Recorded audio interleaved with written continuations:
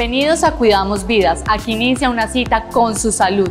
Enviamos un saludo muy especial a todos los televidentes que se conectan a esta hora a través de la pantalla del canal TRO. En nuestro capítulo de hoy hablaremos de salud mental y emocional en niños. Según datos de la Organización Mundial de la Salud, muestran que más del 50% de estos trastornos empiezan entre los 14 años o antes. Los trastornos mentales representan el 16% de la carga de enfermedades en jóvenes y adultos. Conozcamos más sobre este tema y resolvamos dudas junto al equipo de profesionales de la FCB. Una definición general de la salud mental es la forma en cómo nosotros interactuamos y nos comportamos con las personas y con nuestro entorno. En el caso de los niños eh, va a definir mucho el contexto, el ambiente familiar, la edad cronológica del niño, para mirar si esa salud mental está afectada o no como tal. Cuando nosotros empezamos a ver eh, niños, por ejemplo, como mencionaba, eh, con irritabilidad o el temperamento difícil, que a veces si son muy explosivos, por ejemplo, o que tienen dificultad para seguir instrucciones, este tipo de, dificultades o de problemas se mantienen en el tiempo y tienden de alguna manera a cronificarse o a exacerbarse aún más porque van conllevando a que el patrón de respuesta del medio que rodea al niño, si no lo hace de manera asertiva, terminen eh, contribuyendo y reforzando las conductas, digamos, que, para este momento serían eh, inadecuadas. Entonces, el mayor problema en el desarrollo sería desarrollo de trastornos psiquiátricos del tipo afectivo, por ejemplo, trastornos, por ejemplo, de la conducta,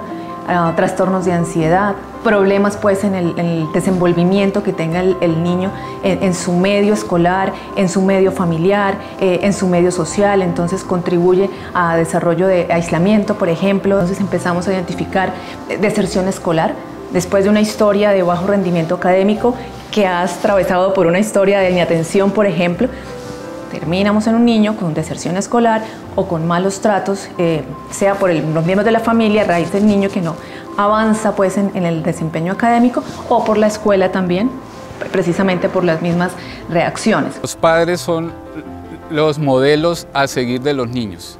Entonces nosotros como papás obviamente podemos tener nuestras dificultades, nuestros problemas, pero debemos tener y ser conscientes de que estamos enseñándole a un niño a cómo manejar las situaciones y cómo manejar también las emociones. Entonces es muy importante que hayan unos canales de comunicación adecuados en, la familia, ¿sí? en los adultos. Eh, si hay fallas de comunicación y a pesar de mirar eh, estrategias para solucionar esas fallas y se siguen presentando, ahí uno recomienda también un acompañamiento psicológico psiquiátrico. Pero sí es muy importante para tener en cuenta estas etapas del desarrollo del niño, los modelos que tiene el niño como tal. La pandemia afectó la salud mental de los niños en gran medida, uno en la parte social, eh, pues los niños tuvieron que aislarse y como adaptarse a este nuevo ambiente que es más en la casa que con la interacción social, entonces son niños que al momento de retomar sus estudios pueden presentar eh, dificultad en sus habilidades sociales, dificultad para resolución de problemas. Otro factor que afectó bastante a los niños durante la pandemia es que sus hábitos saludables eh, se vieron afectados. ¿En qué? Porque los niños pasaban la mayor parte del tiempo con los equipos electrónicos, entonces ya no había la misma actividad física, entonces se generó más sedentarismo, sus hábitos alimenticios no eran los mismos porque no habían como el mismo rigor de los horarios, eh, sus hábitos de sueño también no eran igual, entonces muchos de estos factores afectaron la salud física y mental del niño durante la pandemia. Esta parte es muy importante la función de los familiares, especialmente de los padres del niño, porque durante este proceso es importante que los padres tengan un espacio para que se comuniquen asertivamente con sus hijos frente a la situación que se está presentando y que los niños puedan expresar sus emociones de una manera tranquila. Otro aspecto importante es que desde casa se, se empiecen a implementar hábitos saludables, o sea, eh, se hagan rutinas de ejercicio en familia o se hagan actividades lúdicas en los tiempos libres para que todo el tiempo el niño no se encuentre con eh, equipos electrónicos. Lo más importante en este proceso es la comunicación asertiva y la comprensión de esas emociones que el niño pueda presentar durante todo ese proceso de aislamiento o de pandemia. Los factores de riesgo que se pueden ver en la salud mental de los niños Pues son varios, uno de ellos son los factores biológicos. Muchos de estos niños pueden que sus familiares o sus padres hayan presentado algún trastorno mental, lo cual hace que sea mayor la predisposición de que los niños padezcan alguno de estos trastornos. Eh, otros factores que también influyen bastante en la salud mental del niño son eh, lo que es referente a todo el entorno, me refiero en la parte social, por lo menos los niños que están en condición de pobreza extrema, entonces eh, sus hábitos alimenticios no van a ser igual, las oportunidades no van a ser las mismas, muchas veces vienen de conflictos familiares también bastante fuertes o de experiencias traumáticas que hacen que su salud mental se vea aún más afectada. Nosotros vamos a una pausa comercial y ya regresamos, pero antes les dejamos esta cápsula FCB. Cuidamos Vidas, un programa de beneficios para el cuidado de tu salud. Obtén tarifas preferenciales y descuentos especiales en consultas médicas generales y especializadas, exámenes de laboratorio e imágenes diagnósticas en la FCB. Adquiere tu carnet fácil y rápido en nuestras oficinas de experiencia al paciente. Juntos, cuidamos vidas.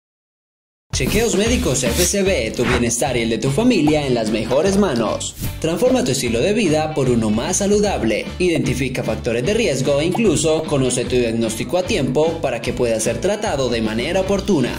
Contamos con paquetes para hombre, mujer y niños, así como para patologías específicas como salud digestiva, cardiovascular, neurológica y muchas más. Incluso puedes personalizar tu chequeo médico. Contáctanos. Elige el paquete que mejor se adapte a tus necesidades. Agenda tu cita y prepárate para que juntos cuidemos tu salud.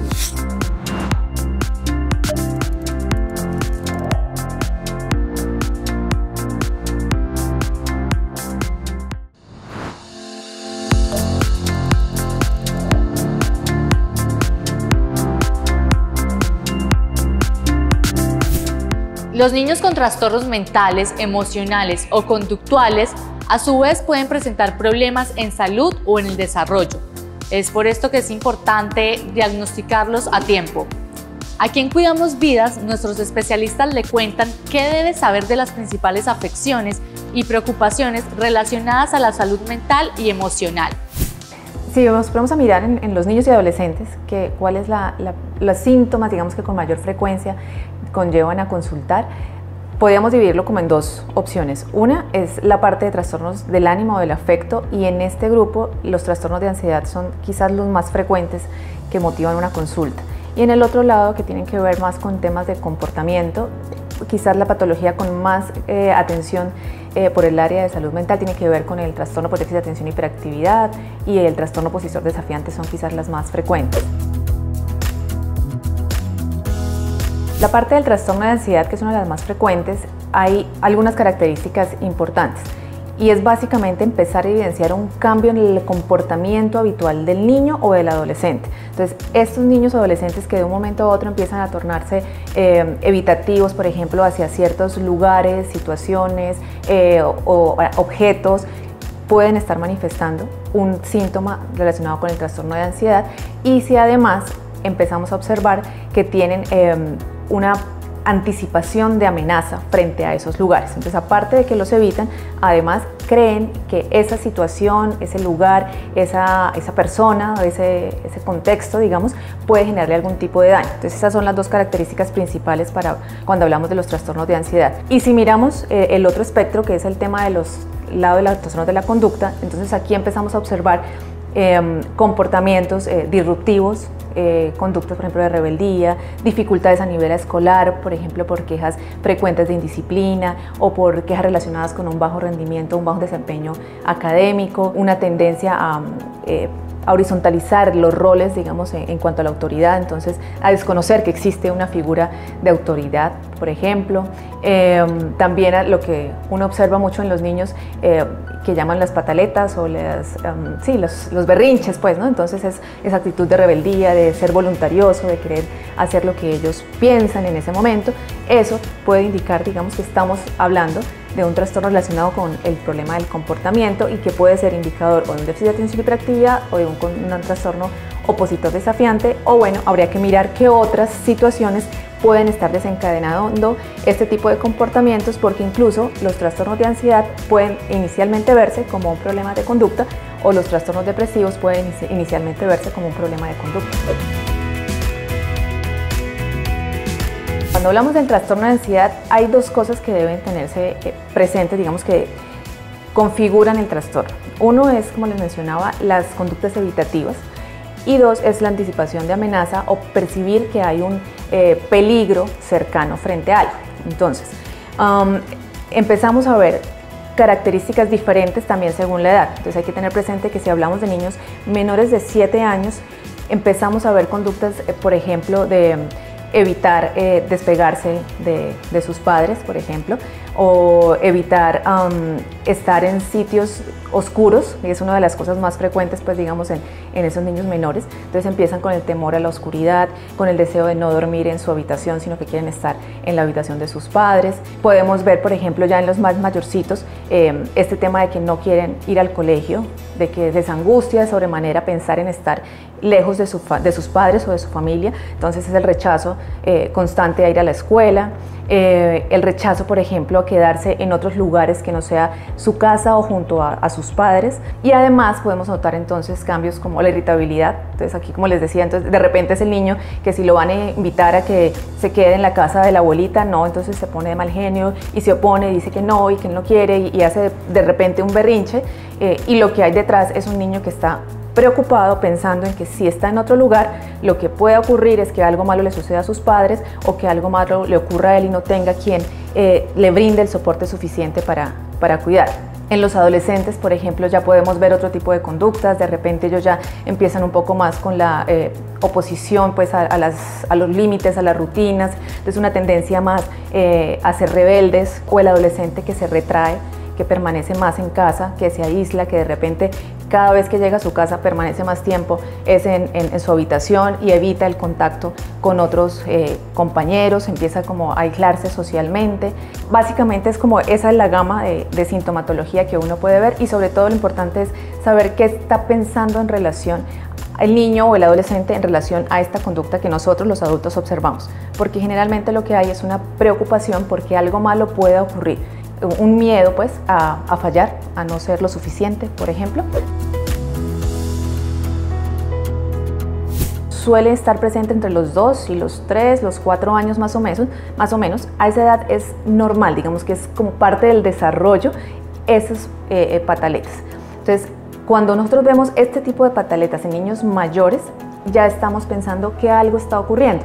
¿cierto? Hay que indagar más a fondo para saber qué está ocurriendo, si es que hay un trastorno de ansiedad de base o de repente hay un trastorno del ánimo del tipo depresivo, por ejemplo, o realmente es un tema de un trastorno de conducta. Pero cuando estamos viendo que es un niño pues que venía desde el principio, o sea, desde los dos años aproximadamente que empiezan un poquito a, llevar la contraria ¿no? y, a, y a marcar como el tema de poder decir no, esta conducta se mantiene, persiste desde los dos en adelante y persiste más allá, 4, 5, 6 años sigue siendo, digamos que ahí pensamos en que el tema va más por el lado de la conducta, de repente hay que evaluar cuál es el estilo de las pautas de crianza que se están manejando, ¿cierto? ¿Qué factores eh, existen en la dinámica familiar para más bien guiarnos hacia ese lado? Pero digamos que sí, si el niño cambia su patrón, igual hay que buscar una atención pues para poder organizar cuáles son esos síntomas y cuál es el origen de esos síntomas y obviamente cuál podría ser la solución para esa situación que se esté presentando. Sin duda alguna es importante aprender a identificar estos trastornos mentales. Nosotros hacemos una pausa comercial y al regreso conoceremos más detalles de cómo prevenir estas patologías en nuestros niños. Bucaramanga nos has acogido durante casi dos décadas, permitiéndonos recorrer tus calles en una carrera por la salud. Y este 2022 no será la excepción. Nos estamos preparando para hacer vibrar tu corazón, traspasar fronteras y demostrar que juntos podemos contra cualquier obstáculo. Llega la media maratón de la FCB con su decimonovena edición y esta vez por partida doble. Dos carreras, dos modalidades. Primero correremos y nos prepararemos con la carrera virtual y después viviremos juntos de nuevo la energía de la carrera presencial. Prepárate una vez más para ponerle tenis a tu corazón.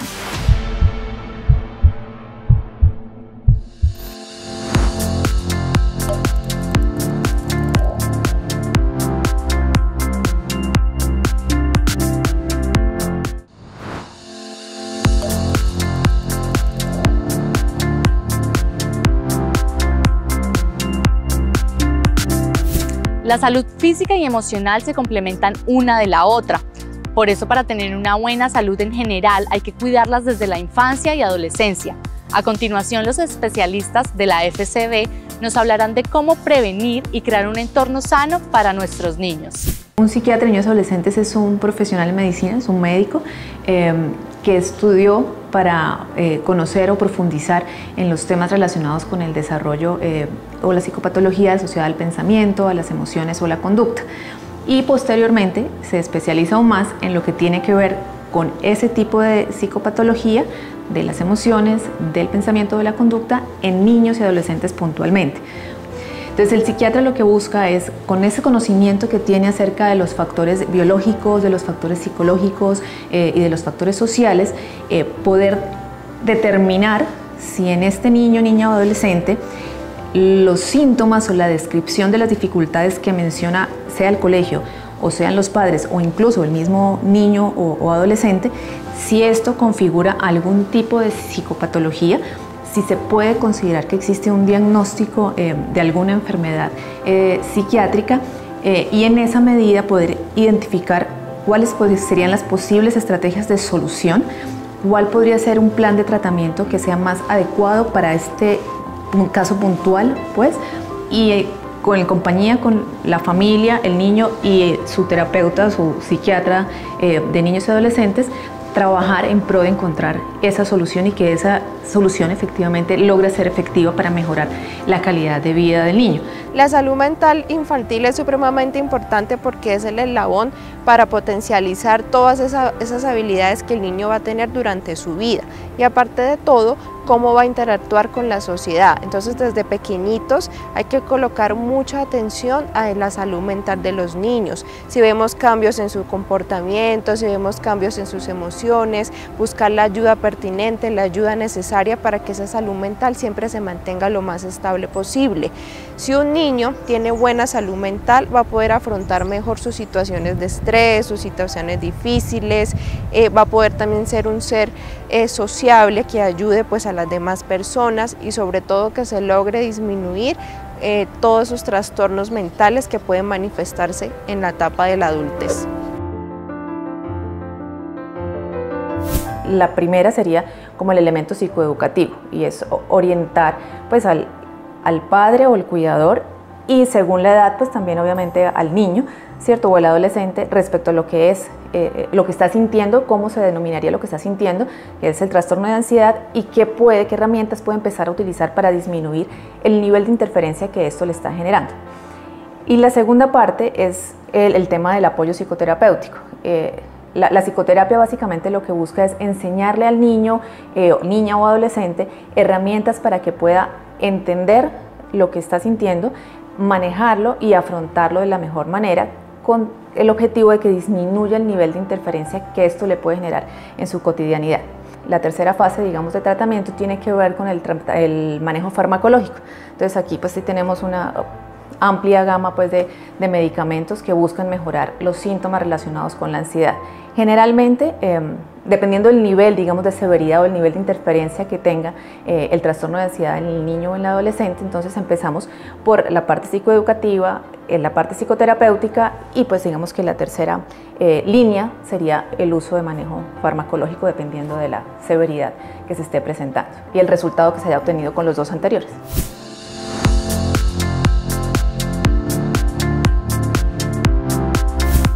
En compañía de los especialistas de la FCB, los invitamos a seguir a la consulta, sección donde responderemos las preguntas que ustedes los televidentes nos han hecho llegar.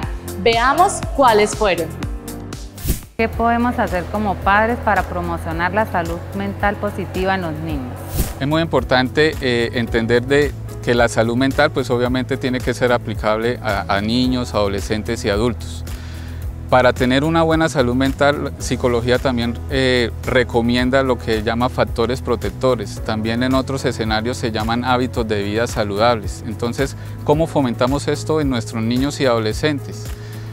El ejercicio, una alimentación balanceada, que los niños o los adolescentes y los adolescentes tengan eh, eh, momentos de esparcimiento sanos, La parte social también es muy importante, obviamente eh, saber con quién están nuestros hijos, eh, el involucrarse ellos con otras personas eh, ayuda también a, fortalecer esa salud mental.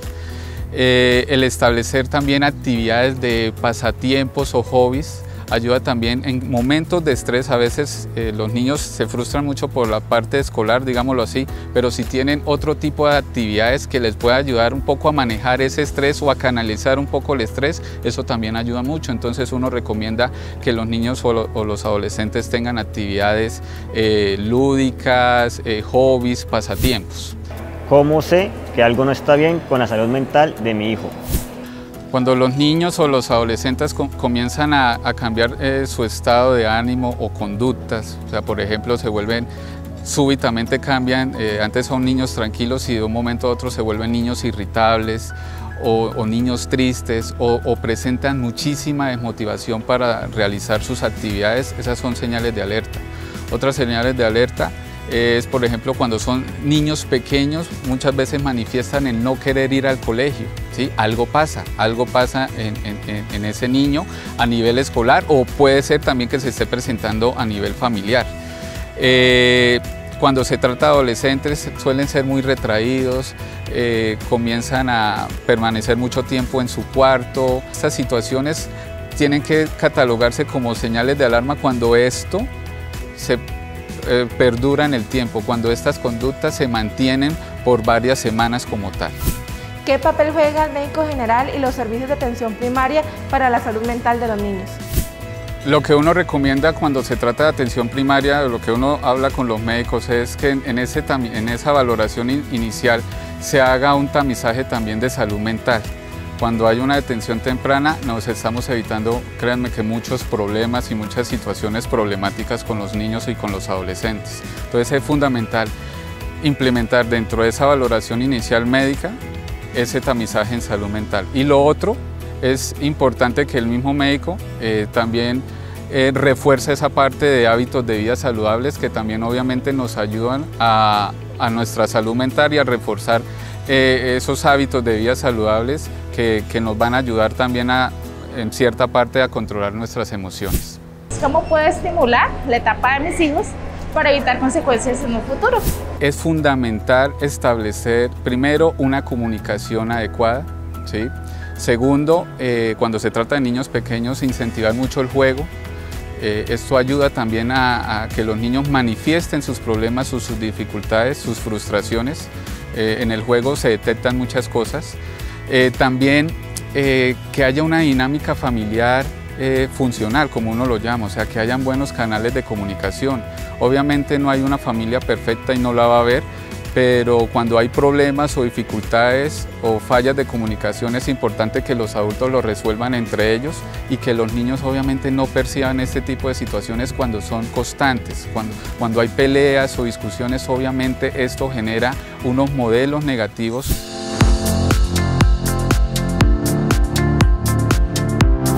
Por hoy hemos llegado al final de nuestra misión en Cuidamos Vidas.